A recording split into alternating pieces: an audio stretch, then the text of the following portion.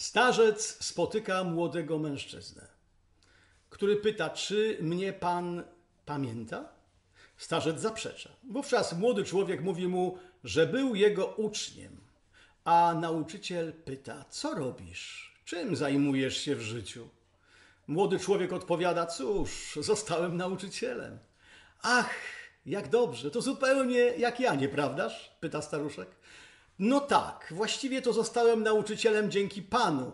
Zainspirował mnie Pan swoją osobą. Zaciekawiony starzec pyta młodego człowieka, kiedy zdecydował się zostać nauczycielem, a on opowiada mu następującą historię. Pewnego dnia mój szkolny kolega przyszedł do szkoły z nowym super zegarkiem, którego zapragnąłem. Ukradłem go więc, zwyczajnie wyjąłem z jego kieszeni. Niedługo potem kolega zauważył, że jego zegarek zaginął i natychmiast poskarżył się naszemu nauczycielowi, czyli panu. Wówczas zwrócił się pan do klasy, mówiąc: Zegarek tego ucznia został dziś skradziony podczas zajęć. Kto go ukradł, proszę go zwrócić. Nie zwróciłem go wtedy, nie chciałem tego zrobić. Wówczas zamknął pan drzwi i powiedział nam wszystkim, żebyśmy wstali i stanęli w kręgu. Zamierzał pan przeszukać nasze kieszenie, jedną po drugiej, po kolei, aż zegarek zostanie znaleziony. Dodatkowo jeszcze kazał nam Pan zamknąć oczy, ponieważ życzył Pan sobie odnaleźć zegarek tylko wtedy, gdy wszyscy będziemy mieli zamknięte oczy. Tak też uczyniliśmy. Chodził Pan od kieszeni do kieszeni, od ucznia do ucznia, a kiedy przeszukiwał Pan moją kieszeń i znalazł zegarek, wyjął go Pan i mimo to kontynuował Pan przeszukiwanie wszystkich kieszeni. A kiedy Pan skończył, powiedział Pan: Otwórzcie oczy, zegarek się odnalazł.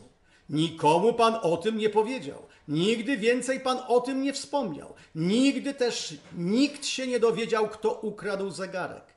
Tego dnia na zawsze ocalił Pan moją godność.